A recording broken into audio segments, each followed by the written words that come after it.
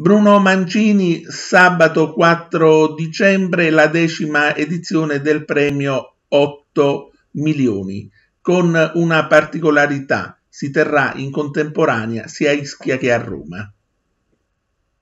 Sì, è un premio che appunto è nato dieci anni fa circa grazie all'interessamento del Salvatore Lauro, il senatore Salvatore Lauro, che l'ha voluto dedicare al padre Agostino Lauro. Da allora abbiamo effettuato queste dieci edizioni in una maniera internazionale, ottenendo dei grossi consensi eh, da vari artisti. Dicevamo la particolarità di questa decima edizione che si terrà contemporaneamente sia a Ischia che a Roma. Immagino per, per il Covid appunto abbiamo voluto dare la possibilità anche a coloro che non risiedono sull'isola di Ischia di poter intervenire.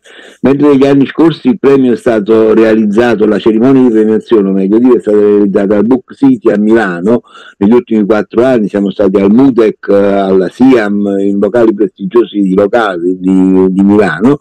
Eh, ovviamente c'erano dei problemi eh, proprio per il Covid, quindi quest'anno abbiamo inteso eh, doppiare eh, la location una parte a Roma da Chiara Pavoni che ha uno splendido locale, si chiama Interno 4 al centro di Roma e un'altra parte qui alla Biblioteca Antoniana. Sarà un'edizione un po' eh, diversa rispetto alle altre, eh, in quanto eh, diciamo, eh, si farà anche un resoconto eh, delle precedenti edizioni con dei premi specifici. Sì, abbiamo, in questo anno abbiamo voluto dare un riconoscimento a molte persone, tra cui appunto il qui presente graditissimo amico Gennaro Saio, per tutta la collaborazione che hanno prestato per far sì che questo premio durante questi dieci anni mh, abbia avuto una, una, risonanza a livello se non altro nazionale che eh, noi apprezziamo molto. Penso che questo premio ha delle specificità in Italia, in quanto è l'unico che non ha nessuna tassa di iscrizione, è l'unico che si sviluppa su sei sezioni, è l'unico che non ha mai avuto un euro di contributo pubblico, tanto per dirne alcune.